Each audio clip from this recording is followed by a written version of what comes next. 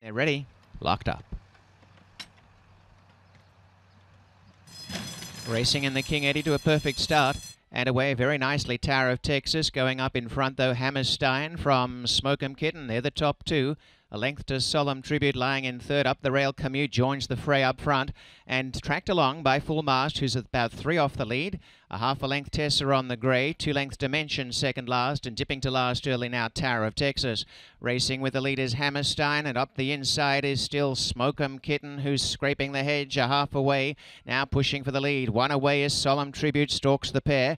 Commute on the inside, Full Mast under a tight ray in the centre, and they're bunched right up. Then Tesseron, one to Tower of Texas, and last is Dimension.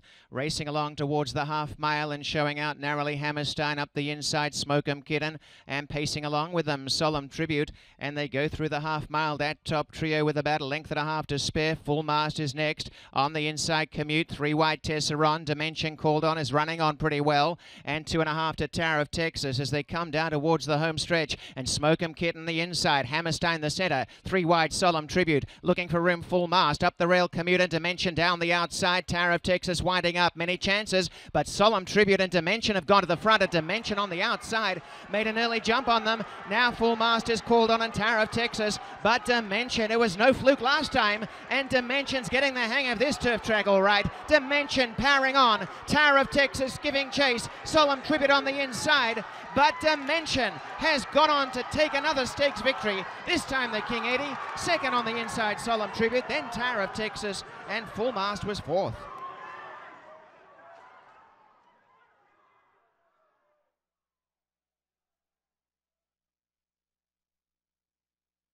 Race time 133.19.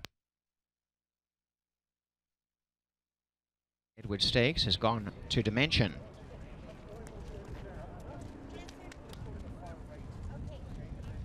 Well, Dimension at eight years of age is twice the age of the majority of the field here, who were mainly four-year-olds, and has really done it in style to make a back-to-back -back success. Dimension for Riverside Bloodstock LLC. Conor Murphy with another stakes victory. This eight-year-old dark bay brown gelding is by Medicean from a Green Desert Dam Palatial and was trained by Conor Murphy with David Murray back in the saddle for a back-to-back -back stakes success following on from the Connaught to today's King Edward. Dimension takes what is victory number seven.